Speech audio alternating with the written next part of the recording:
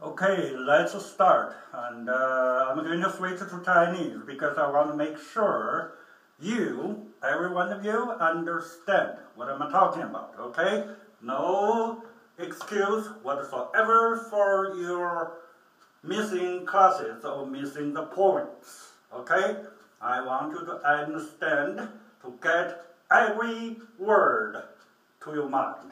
Okay? I want it to be etched on your mind. Etched. Okay? E C H E D. Etched. Okay. All right. Here it goes.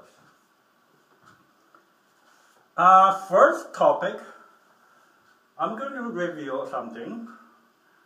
呃，在过去几天来，我一直跟大家谈一谈学习的感受。呃，我的感觉是这样的， 就是说，我们虽然讲了呃三期了，现在到三期了，但是理解我们这个范例口语的方法、范例方法的人呢还不多，还不多的。我发觉是这样的。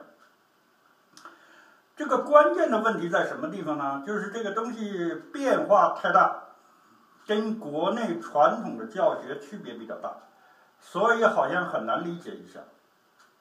我说它是平静的、革命性的，这个你可能觉得有点夸张，但实际上呢是这样的，因为我们的想法、做法整个的不一样，对不对？呃，简单的说，从精神上说。我把这个这种现这种学习英语的核心，我叫它它，你要把它当做要成为你的情人，you love her。也就是说，当你这样做的话，你的一切努力都是自发的，都是从你内心出来的，而且是越来越快的，随着你升温。这样的话，最后你们要结婚，对不对？这个英语要到你的头脑中去，这就是最终目的。你要很好体会这个东西。所以你的一切借口，什么我没有时间呐，记单词太难呐，你的对象说生字，你你说过难吗？你的 boyfriend girlfriend 说，你你在干什么呀？你在撩妹呀？生新新词吧？过去十年没有吧？你要不要记下来呀？要不要背两遍呢？不需要吧？这就叫情人的作用，OK？所以你要明白这个精神，这个核心。泛律口语的精神是英语要成为你的情人，这是精神。至于怎么样弄，为什么它可以成为情人，这个我们要慢慢讲。我们过去也讲到一些。你慢慢就理解这个东西了，但是你要如果把它当成过去的那种东西，或者是说现在国内一般教英语这种东西是一种苦差事，是流汗，是要早晚不停的背单词，啊，跟人家模仿，去到处奔波找老外、找英语角、找同学、找老师去练。You are wrong, totally, entirely. OK，我就跟你说这个，你要这样理解，你就大错特错了。我们的方法不在这里，不在这里，OK？啊，上次呃前几天我跟同学谈的时候，有的人问我说：“那个我们平常都干什么呢？”呃，我的，所以我想到呢，问这个问题就是说，他还不是不理解我们怎么教你的这个东西。我这么比喻，学英语就是去捕鱼。去捕鱼有两个东西你必须注意，第一个呢，你开什么样的船，用什么样的网，对不对？这是第一个问题。第二个问题，你捕什么样的鱼？你是捕鲸鱼呢，还是捕鲨鱼呢，还是捕沙丁鱼呢？一般的小鱼呢？这也就是说，你的英语。要学什么的问题，这是你自己决定的事情。我们的任务，范例口语，是教你造这艘船，去教你撒这个网，是教这个事情。也就是说，教你一种方法，你用这种方法去捕鱼，捕什么鱼是你的问题。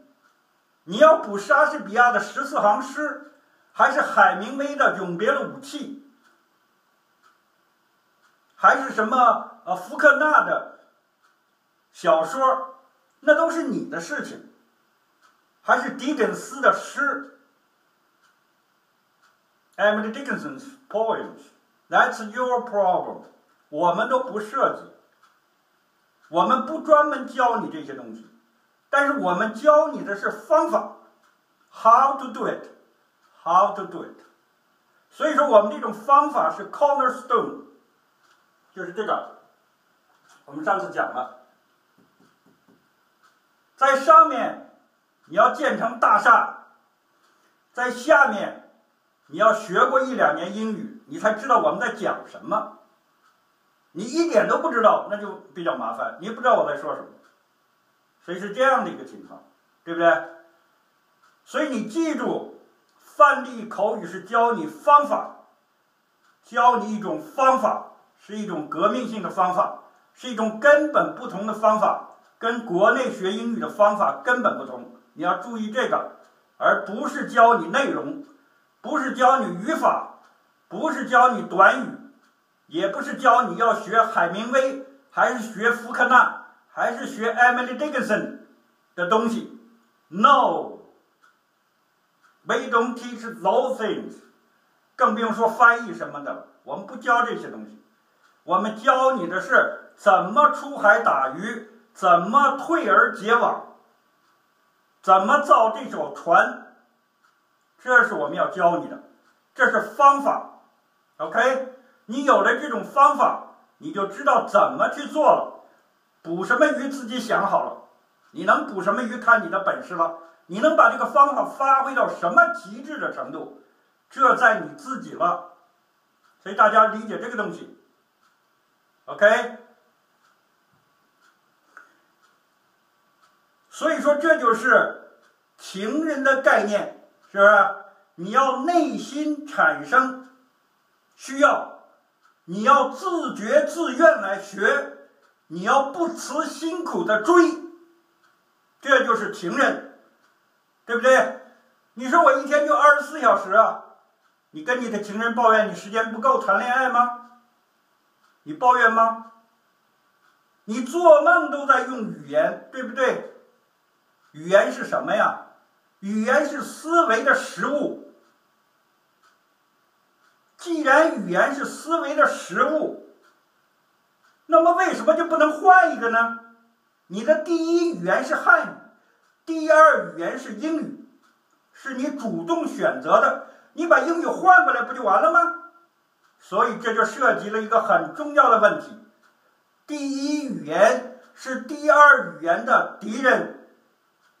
学习第二语言的敌人，他控制了你的一切，你的发音、你的思维、你的呼吸、你的节奏、你的语调，等等等等，所有的东西他都控制住你。他排斥第二语言，但是我们的任务就是要学会第一语言，把第二语言、把第一语言暂时压制在那儿不动。压制在那儿，藏起来，不要动它，尽量让自己的脑子充斥第二语言，这就是英语，这就是我要给你讲的。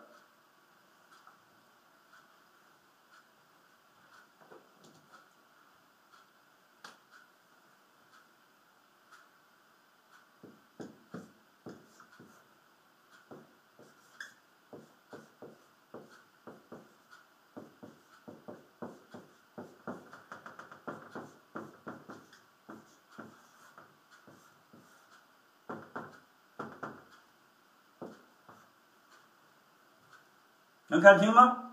可以啊，可以看清，我想，我都能看清，我在这里都能看清。汉语是你学英语的敌人，是你最大的障碍。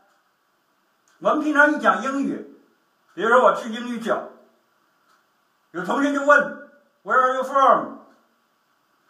一般怎么回答呢？I'm from 江苏，I'm from 四川，I'm from 广东。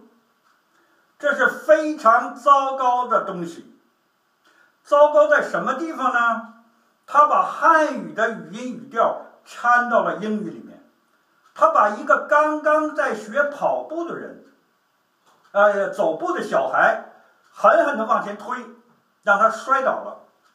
他还没有形成自己英语的语调，就又受到回到汉语的影响了，所以他学不好，因为他还不壮，他没有学会。所以别人问我，我总是说 Where are you from？我说 I'm from the capital。我用英语，我不说汉语，不说北京这两个字，因为北京汉语这个语调就不同了。所以这就是我讲汉语是敌人。是你英语口语学习的敌人，引号啊，引号。为什么？这表现在几个方面，几个主要的方面，我说一下。有很多方面，他都他都压制你。主要的方面，第一个，他是在语音方面的对你的压制。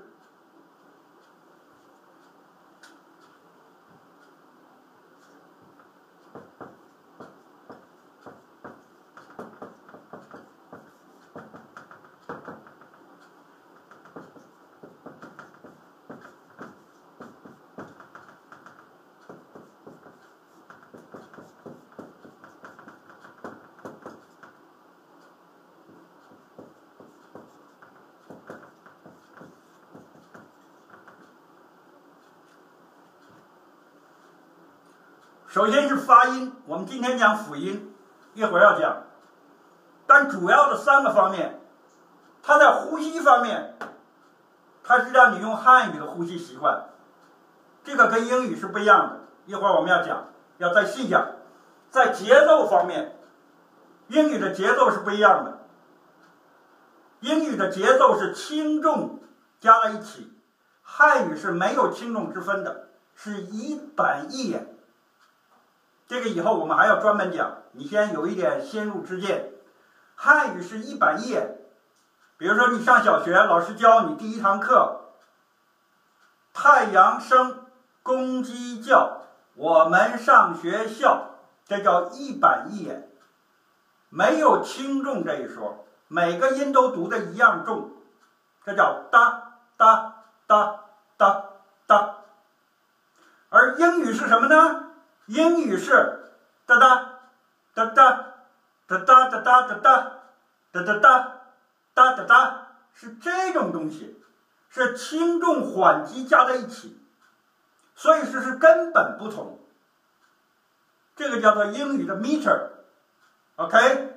不懂得这个东西，你就会把汉语的习惯放到讲英语上来，也就是国外所说的。我们讲中式英语的问题，OK？至于语调，那就更明显了。语调汉语是平的，是在每个音上变音。我们有平声、上声、下去声、折声，对不对？而汉而英语不是这样的，英语是以短语、以句短句与段落为一个语调群，整个的是一个起伏波浪的形式。看这个图，这是汉语的东西，一个一个震动，原地震动。这是这个倾向，这个呢你看不太清，这是指的每一个的不同，是这样的变化，是吧？而英语，也就是说，要打个比方说，你看这个，这个能不能看清？是一个魔术师，他在玩球，一边扔一边走，每个球啊，互相之间没有联系，扔上去接住，扔上去接住都不一样的，互相没有什么联系。我们吃饭了，我跟没有语调上的这相同地方吗？没有，我是三声，没是二声，对不对？没有区别。而英语就不行了，We had dinner，你要一出一口气平着过去，也就是说像波浪一样，也就是说比喻成它是吹一个号，一边走一边吹，调子要匀称，像波浪一样往前走。你要明白，这是根本的区别。汉语是英语的和英语根本区别在语调上。以后我们还要反复设计这个问题，我们要专门讲语调。但是我跟大家说，首先要有点先入之见，对不对？所以说这是第一点。为什么汉语是讲英语的敌人？第一点是从语音的这几个方面，三个主要方面来说的。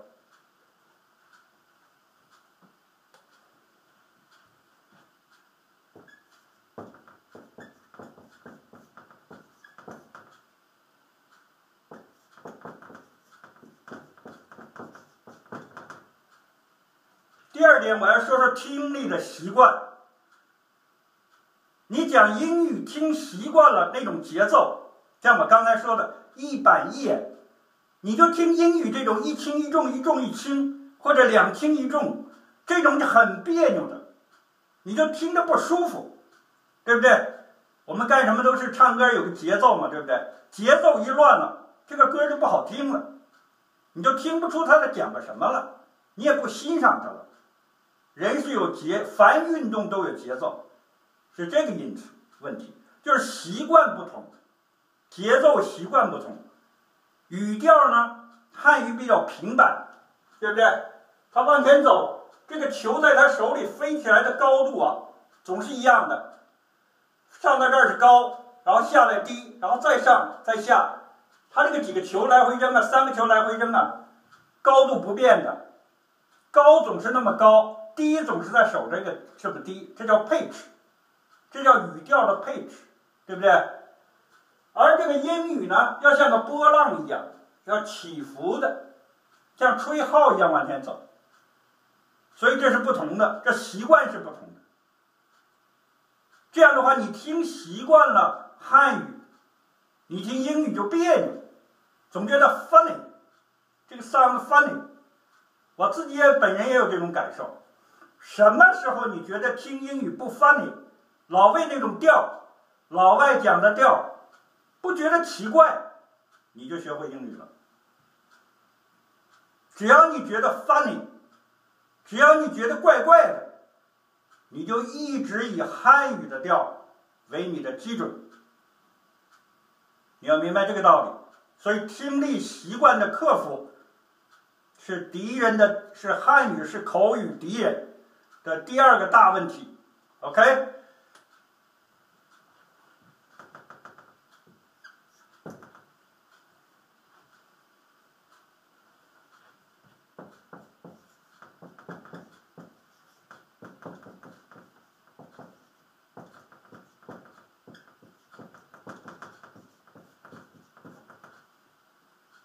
第三个，我讲一讲翻译的问题。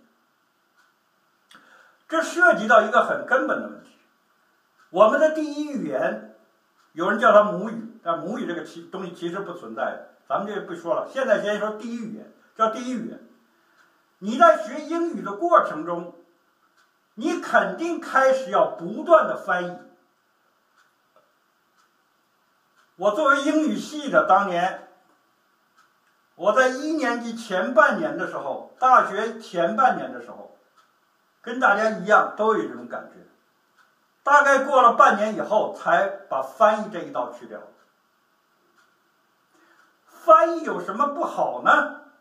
它第一个，让你总依靠第一语言作为拐杖来理解；第二个，它让你速度理解的速度慢了一倍，因为你从一种语言跳到另一种语言再回来。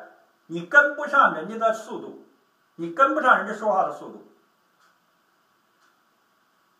所以说你总是在那个里面打圈圈，总是慢，听不懂。第三个，它对你的习惯理解的形成都有影响。我们刚才说了，从呼吸、节奏、语调这三个关系都影响你，所以说。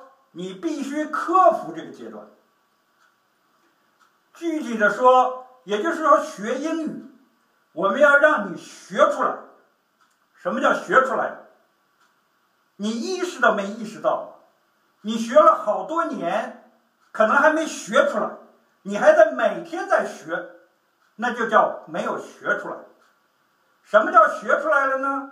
就像你的汉语一样，你要上会计课了，你要上计算机课去，你要学舞蹈去，你要学音乐去，学绘画去。还有人说你的汉语挺好啊，你今天来这里，有人这样说你吗？没有，这是自然而然的事情。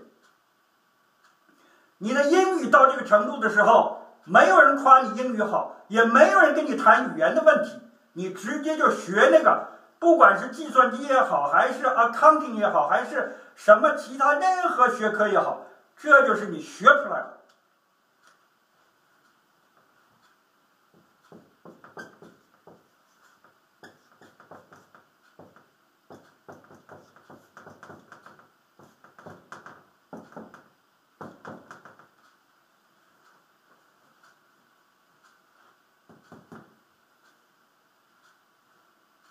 你的英语要学出来，要学出来才行。怎么学出来呢？就是说，已经不是再是个问题了。你可以继续学英语，没有问题。你要愿意深做，你去了，你好，你去深做了。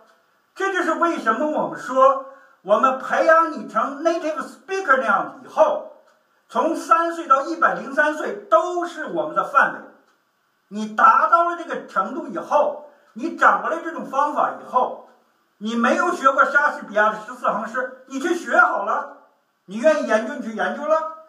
你愿意研究海明威的《永别了，武器》，你去好了。你愿意研究福克纳的小说，你去好了。你愿意研究艾米丽·狄克森的诗歌，你去研究了。那叫学出来以后怎么用它的问题。那不是我们教你的问题，那是英美文学的东西，已经脱离了语言的范围了。你怎么的还能学出来？你怎么成能成为一个最低的三岁的英英美的小孩的 native speaker？你告诉我，一个三岁小孩有多少词汇啊？我们过去给你看过录像，对不对？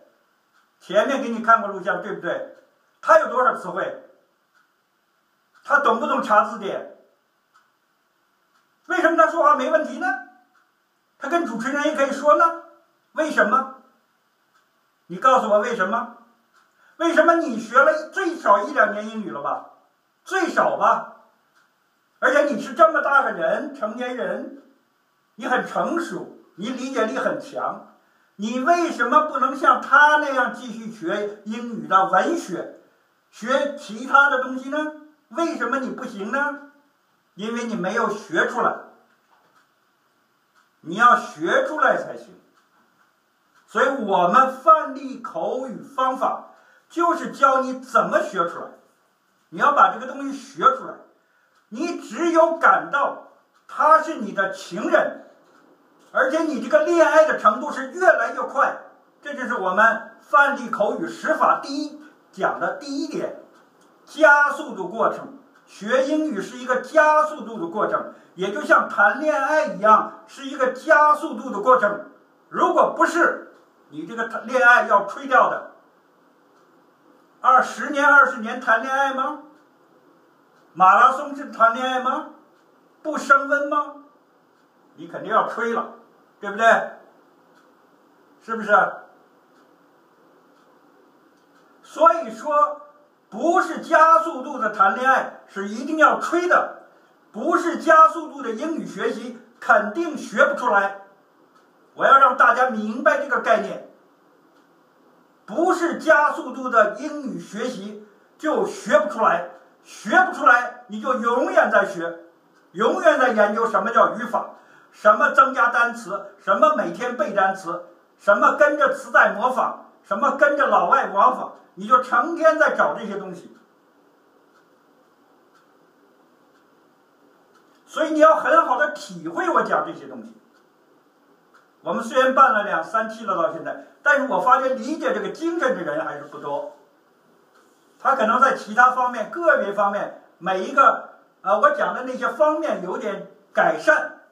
有进步，但是这个精神他还没有掌握到，就是也就是说，我还没有看到突飞猛进的进步，能给我一个大吃一惊的进步，我没有看到。但是我觉得你是可以做到的，也就是说，你在练习的时候，这个练习是不可遏制的。你这种内心的需求对英语，对你思维要转换语言，要把思维这种饥饿感。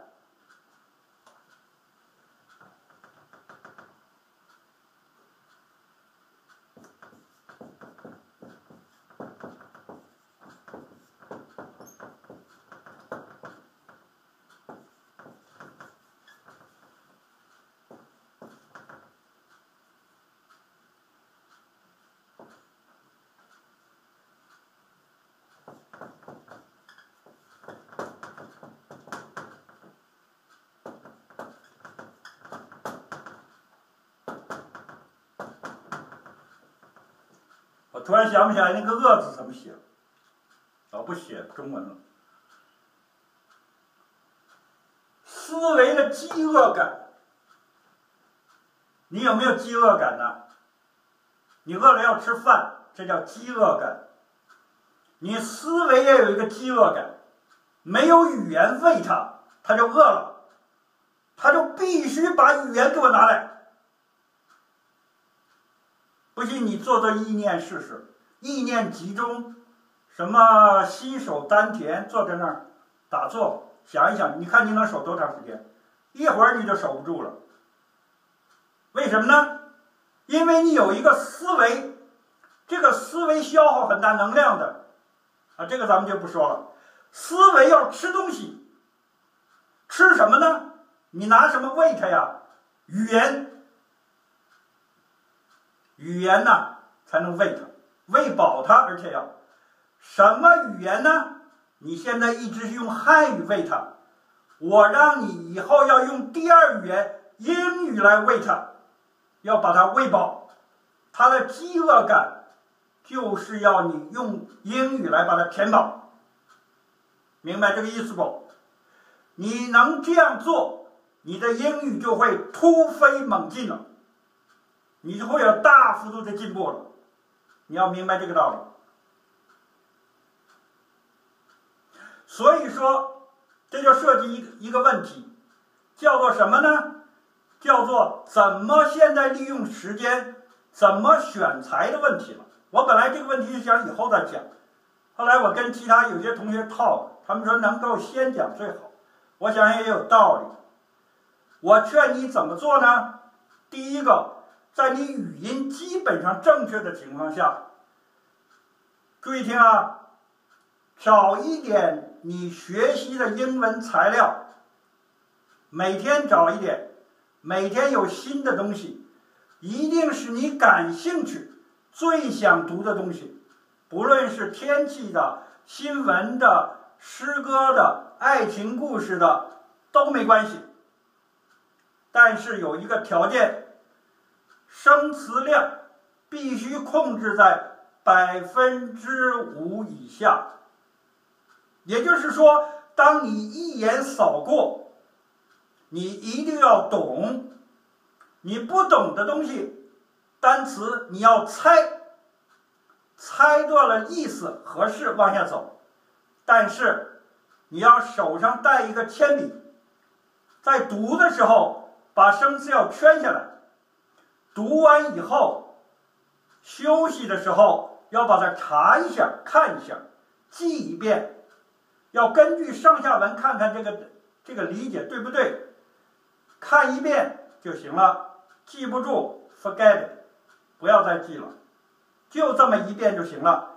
每天换新东西，绝不重复。每天坐在一个墙角读，从一小时开始。看你能够读，最终读几小时，坚持了两三个月、半年，你就会很有进步的。如果你的方法是对的，你就会时间越来越长，每天从一半个小时到一个小时到两个小时到三个小时，甚至到四个小时、五个小时，当然不是一气儿的啊，中间要休息，别累坏了，你找我来了，对？老师说你告诉我的，我把眼睛累累得近视了，对不对？那那个你不要找我了啊，你自己掌握休息时间啊。我告诉同学，这就是我说的，我跟大家谈的，学英语好比一个大餐，跟老外交谈只是一种考试，看看发音准不准就行了。跟老师跟同学交谈就是喝汤吃小菜，什么是主食？什么是主食？主食就是阅读。你用自己的嘴训练自己的耳朵听力，用自己的嘴训练发音的流利程度、肌肉配合，用自己的嘴形成长句子的概念，在大脑中形成长句子的概念，而不是像现在很多讲英文的中国同学，他们不会用多于五个字以上的长句子。他们总是在 stutter，总是 copy sentences，所以说就是说你要理解这种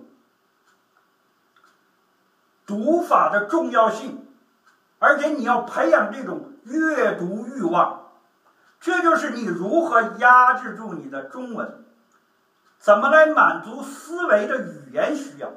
你让他在这几个小时之内，这一段时间之内，都是英文在喂他，喂你的思维，你就对了。你要时间越来越长，你就对了。就像你谈恋爱一样，时间越来越长，约会时间越来越长，这就是正常的，就是正常的恋爱关系。越来越短，OK，吹了，吹了就不久了。对不对？一个道理，而且记住，加速度要升温呐，不升温的恋爱不能持久，不升温、不延长时间的阅读英语不可继续，方法错误，又回到传统上去了。记住我这个话，这就是范例英语方法的核心，它是思维的食品。他必须得用它来吃饱，大家要记住这个道理。你只有掌握了这种精神，你才是真正明白了范例口语的方法是什么。它为什么跟国内的教学方法、翻译加语法不同？为什么只用短期就能学好？因为它是教你方法。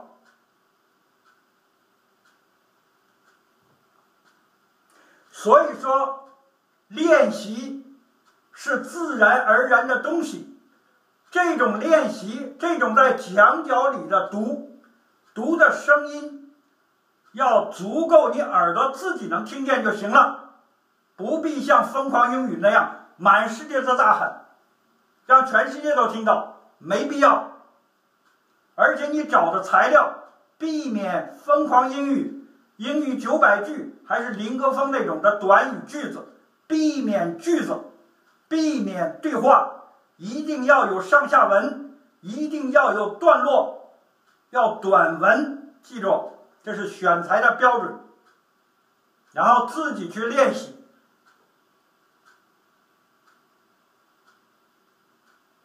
我三十年前在大学上第一年级的时候，我利用暑假，我找到了这种方法以后，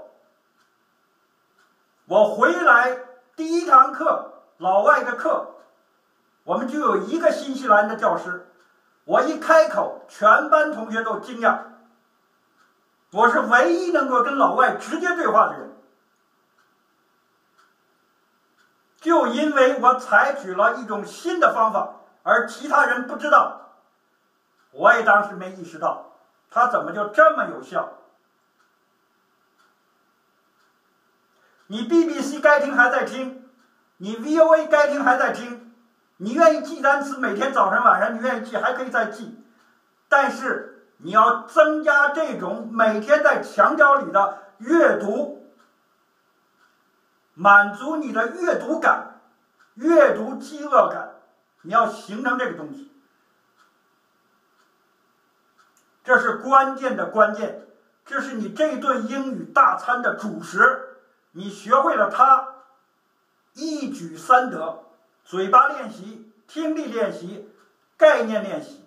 OK，有三点你就能讲英语了。好坏不说，你都能讲了。也就是说，这就是量变到质变。我不是讲哲学的吗？给你讲一个词，叫量变质变。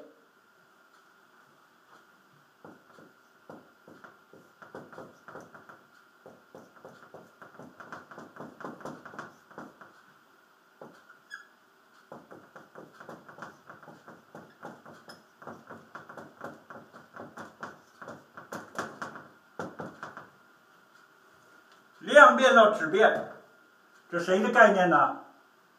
你可能想说这是毛泽东的概念，是不是？这是黑格尔的概念，德国大哲学家黑格尔的概念。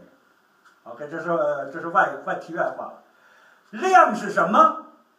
量是你的练习，你自觉自愿、发自内心的练习是量。什么叫质？你突然就感到自己进步了，自己不再结结巴巴，不再别别扭扭，不再到处搜索这个词怎么说，嗯啊哼，你不再搞这些了，你脱口而出，这就叫质变，这就叫学出来了。你有这种感觉就对了，这就是加速度的结果。我们知道加速度那个火箭往上飞的时候就越来越快，对不对？为什么它叫越来越快呀？你想过没有？它慢慢一一个速度往上走不行吗？对不对？世界上的事情很多都是加速度的才有变化的，对不对？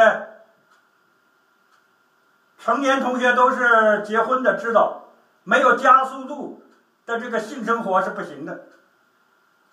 世界上很多事情都是加速度的，对不对？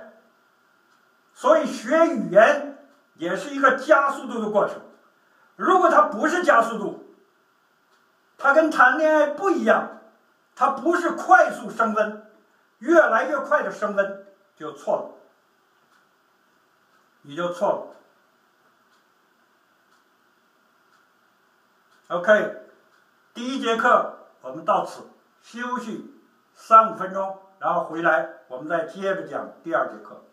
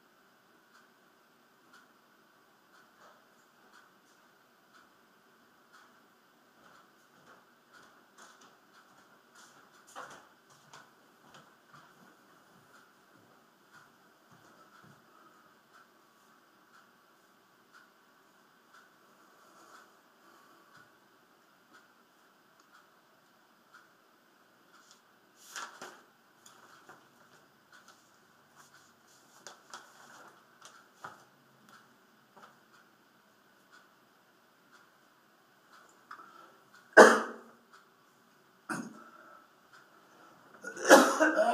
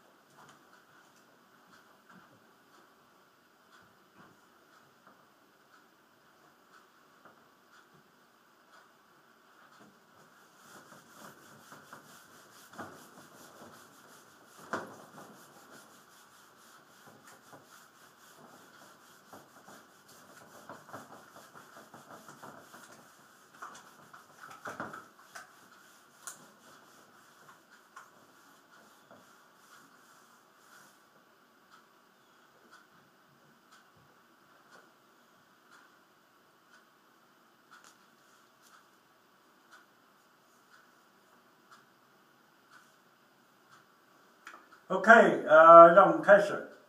呃，第二节课我们讲的重点是用范例的方法如何发音发国际音标。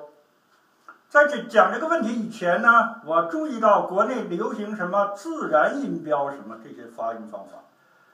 呃，有同学也问，就是说要不要学新的自然音自然发音方法什么的？我的回答是呢，不必要。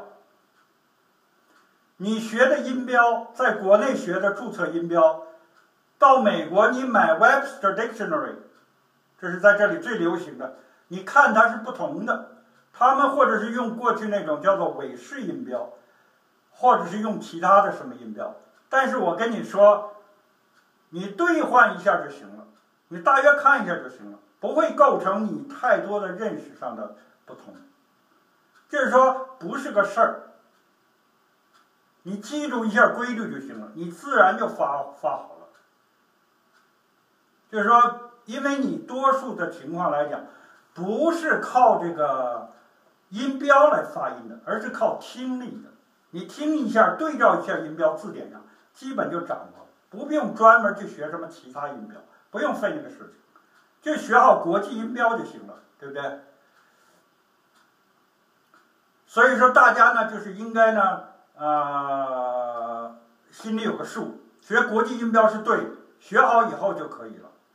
啊，先不用讲提问题啊，等一下，现在因为我不能被打断。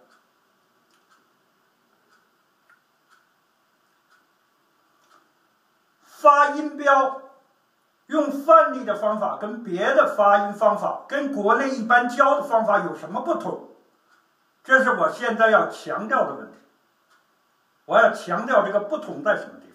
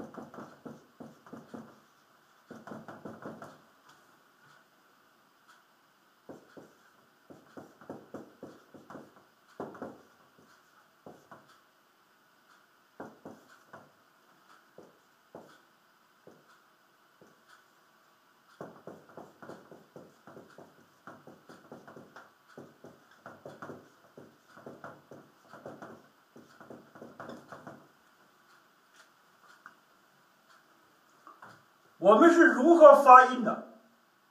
我们的也就是说，发音的源泉来自什么地方呢？只有两种情况，一种叫做振动，一种叫做摩擦。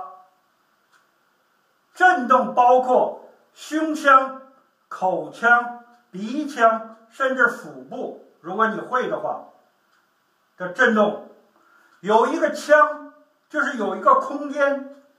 它就可以震动，你让它里面的空气震动起来，你的肌肉压缩它，让它震动发音，这就叫振动发音法。还有一个方法叫做摩擦，通过摩擦而产生声音。比如说你吹气，比如说你擤鼻涕。等等都会有摩擦，不管是液体摩擦还是气体摩擦，这是物理学的定理。凡摩擦要产生声音，这个没有错的，在空气中要传播这种声音。我上次课以前讲过，上次课讲过，可惜那个上次那个课录音呢，嗯，录像呢没有搞下来，我忘掉了，这个有点可惜。但是没有看的同学，以后我再补吧。我讲过，汉语以振动为主，汉语讲汉语的发音以振动为主，而英语以摩擦为主。大家要体会我说的这个东西，什么叫以振动为主？你怎么从振动为主转到以摩擦为主？也就是说，气流通过口腔、通过鼻腔是你唯一发英语的办法。我上次讲了这个问题了。汉语的讲汉语，我吸气，我憋气，我吐气，都可以发这个音。你试一试，你保证可以。而讲英语，只有一种情况你可以发音，否则 shut up。这种音，这种发音是什么呢？什么时候发音呢？只有在吐气的时候发音。吐气就是摩擦，也就是说，你必须由讲汉语的以振动为主、摩擦为辅的发音方法，转为英语的摩擦为主。振动为辅的发音方法，就好像以前你是一直吃饭、吃饭吃这个大米为主的主食，你到了欧洲要以吃肉为主的主食，就好像这样这种转变，你的胃受得了吗？需不需要一段训练呢？同样的道理，所以说以摩擦。摩擦以什么为代表呢？当然是音标里的辅音喽。辅音，这就是我们今天要讲的问题。也就是说，在讲汉语的时候，你多半是说出这个辅音的，多半是这样的。而讲英语的时候，我要让你吹出这个辅音，你要用出气，用呼吸来把这个音吹出来。明白不？你掌握了这种发音方法，你才掌握了这个的本质，发英语的本质，你才能轻重缓急，将来自如，抑扬顿挫，音调自如，你才能达到这个程度。如果你像汉语那样说出来，以振动声带为主，以发摩擦为辅的话。当然，汉语也有元音辅音了，是吧？就像英语一样，你就永远不会掌握以摩擦为主、以振动为辅的这种发音方法。这就是英语的跟汉语的两种语系：印欧语系和汉藏语系。从语言学的角度来讲，我们原来讲过，根本不同之点。你不懂这个。你就学不好英语，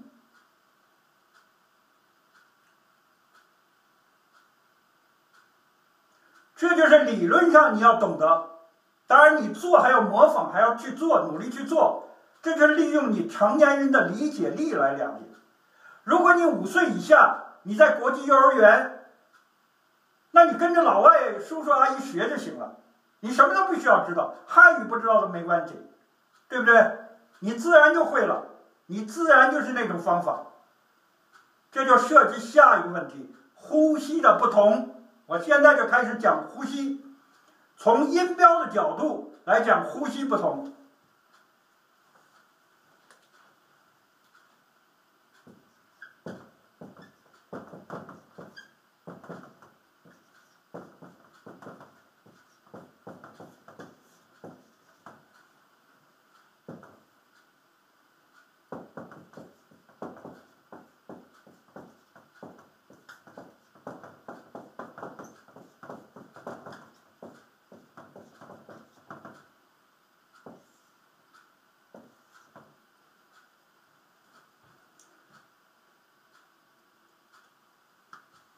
学英语的同学恐怕很奇怪，是吧？怎么呼吸还不同啊？不都是说话吗？错了，错了，不同的。老外的呼吸讲话方式跟你讲英语的方式不同的。你习惯是中文的讲中文的呼吸方式，老外是讲英文的呼吸方式，你们俩是两个世界，他不会说中文，你不会说英文，所以你们谁也不知道谁怎么呼吸的。呼吸是很轻的事情，你看不见的，对不对？很快的事情，半秒不到一半秒十分之一秒就完成了，你看不见的。但是是不同的，我要告诉同学们，不同啊！这就是为什么很多有老外作为教师的学生，英语系的老师同学们跟了老外很长时间，仍然学不会像老外那样讲外语、讲英语的原因。老外不知道你中国人怎么回事儿，而你不知道老外怎么回事儿，所以你们俩是两股道上跑的车，互相不沾边儿的。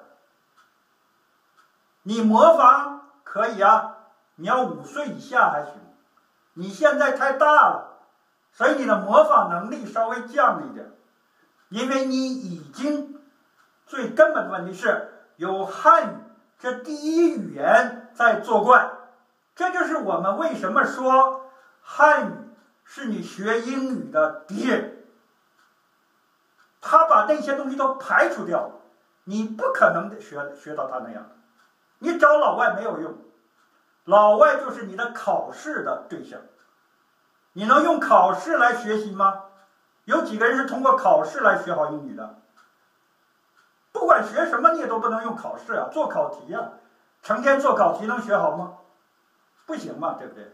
你还有基本概念，你还要练习，大量练习。考试总是短暂的东西，所以你记住，跟老外的交谈只是考试。考什么呢？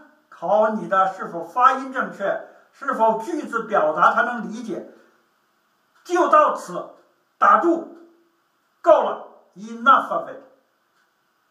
你不用再需要他了，OK？你跟我老师这样谈也是这个目的。要练习，你自己到墙角里搬一个凳子，自己去练习。你以为你跟我这样谈一谈？说一说你就进步很大了，门儿也没有。除非我再教你方法，那是另一问题。呼吸的不同，咱们讲回来，呼吸的不同怎么不同？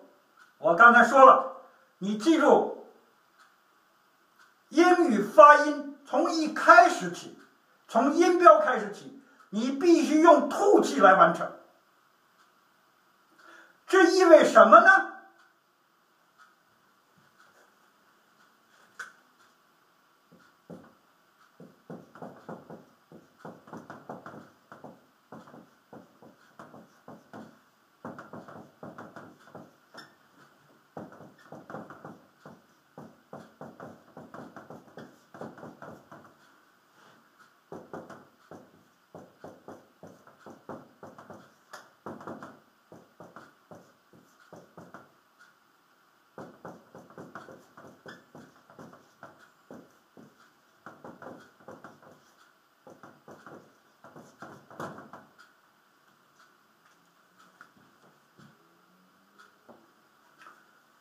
英语发音，不论你是说音标、单词、短语、整句，我都不管，只要它是英语，甚至只要它是它的拉丁文字的语言，我想俄语、德语、法语、西班牙语都一样，必须用吐气来开始和完成，必须用吐气来开始和完成。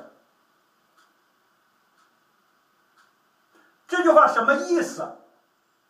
也就是说，你在发音标前要先吸一口气，你要养成这种习惯。为什么？你说老外都不这样？为什么我们要这样啊？因为你是个中国人，你的中文是你的母语，你已经形成了第一语言的习惯。那种习惯对讲英语来讲，这是一种坏的习惯。这种习惯必须改，你不改，你就讲不好英语。所以你怎么改呢？你就首先练习，先吸一口气，发任何音前先吸气，like that，然后再一点一点的吐，一直吐到发完。记住啊，先吸气，然后再发音。谁不吸气，谁就是在那说。谁在那说，就是 English，就是中式英语的开始。大家的中式英语就从这里开始的，就是因为你们的老师，你们国内的英语老师。不懂这个道理，他们自己也是一样，在教你音标的时候，他从来不知道什么叫呼吸的转变，他不懂这个道理，他不懂英语是吹出来的，是用气吹出来的，而不是喉咙里咕噜出来的，他不懂这个道理，而汉语主要是用喉咙，用振动声带来咕噜出来。你要懂得这个道理，这就是我们讲范例的方法来发音、发辅音、发元音、发音标开始与国内教学法的不同。大家要好好琢磨这个道理，然后我们在明天的课，我们要练习这个东西。我要让你每次发音的时候，每个人。都养成这种习惯，先吸气，再发音，再把它吹出来，要一个一个纠正。你不知道这样做，你就是在震动声带，用喉咙在那咕噜它，那就跟讲汉语一样，你可以凑合，可以模仿，可以差不多，这就是你以后。讲英语不清楚的问题，我刚才说了，学英语要学出来，起码有这么几个阶段。第一个阶段是气的转变，你会不会？第二个阶段，肌肉的转变，肌肉从肌肉来讲，只要你是五岁以后开始学英语的，你必然觉得学英语的嘴巴是别扭的。发音是不清晰的，你总要憋着你的嘴来发，否则你就发不清。你嫌丑吗？嫌难看吗？你就一辈子不要想讲清楚，不要想讲清楚话，因为英语的发音的部位，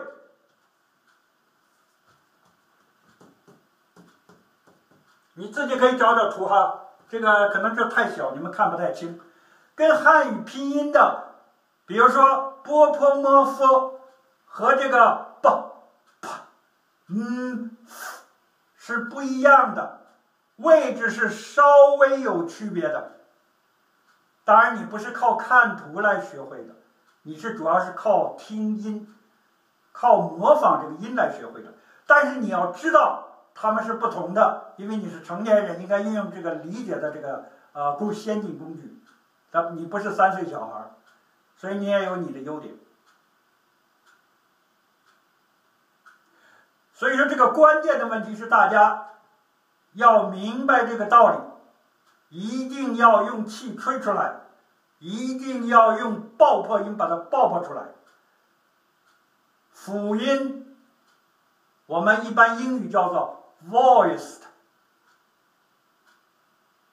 sound 或者 voiceless sound。就是说，清辅音和浊辅音，就是振动声带和非振不振动声带。一会儿我给大家看一段录像，呃，他讲这个音，他发的准确性，大家不会注意到他呼吸的，因为他太自然了，他从小就是这样的，他是 native speaker，是生于英语世界的。所以你不会注意到他的呼吸跟我们有什么不同的，但是我主要是让你看他那个音发的那个准确程度，这是我的目的，这是我的目的。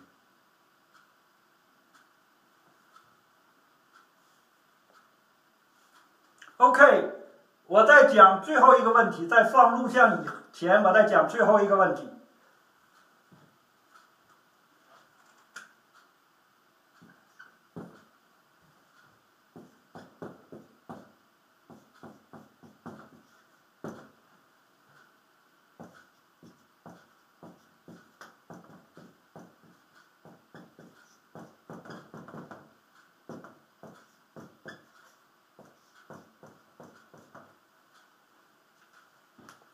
OK，我要强调发辅音的三个方面，第一个叫做长度，第二个叫做饱满，第三个叫做存在。什么意思？中国人讲英语，因为我们是以振动声带，是里呼喉咙里咕噜出来的环境长大的，所以我们对辅音是感到。发长一点是感到很别扭的，很陌生的，所以我们的长度往往不够，没有人过长，总有人过短，发英语的辅音发的过短，这是一个普遍的问题，是中式英语的一个普遍问题，所以你记住，一定要发够，长度发够，这就涉及到另外以后。讲句子、读句子、读文章的一个问题，叫做节律。你说长的这个节律怎么控制？我们以后再讲。第二个问题是什么呢？饱满。我们汉语说要字正腔圆，就是这个道理。很多同学发音，他发的那个音呢，消掉了一半或三分之一，让人听着不饱满。就是说不容易辨别，所以你要发到饱满的程度，把这个音的所有因素都发出来。一个音是由很多频率组成的，高低不同的频率，你要把它尽量模仿的全部发出来，这是第二个问题。第三个问题存在，哎，你可能觉得挺怪，怎么还会不存在呀？是的。我们中国人好多把辅音最后都吃掉了，尤其这个辅音在后面，比如说 bag，包这个词，give me a bag，give me a bag，那个搁到哪去了？吃了，吞掉了。如果是辅音是两个以上呢？fox，foxes，它更难发了，更把它吞掉了。所以这都是大家要注意的地方。辅音是我们学英语的特别困难之一。你总是不是发的长度不够，就是发的太短，这个缺陷太多，要不就是干脆把它吞掉了。这是中国人学辅音的一个三大问题。所以我请大家特别注意这个问题。看到我这样说，用理论上让你知道，你是否今后会提醒自己，在模仿的时候注意模仿老外的这种发音的准确性的时候，提醒自己要在这三个方面注意：宁可过，不可不及。咱们中文说“过犹不及”，不是的，这个就叫做什么呢？你要走一点极端，你要过一点，然后再收回来，比那个不过不够那要容易的多了。往往是你不够，你做的不够，你发的辅音不够。OK，All right，呃，我今天的理论就讲这么多了。今天因为是大课，不跟同学有互动，我下面就放一点录像，看一看发辅音的时候老外是怎么发的。另外，我也上传一些录像，呃，一个英国的男的发的，现在看一个美国的女的发的。这个英国音还是美国音，这个并不重要。如果你看看我们的范例教程来讲，我们强调的是标准英语，不在于哪一国。OK，这只是一个示范。呃，下面我们就做这个。啊、有些什么问题，你在课后以后，我们放完以后讨论。我们可以在个别讨论。Ok 呃下面就我就放一些录像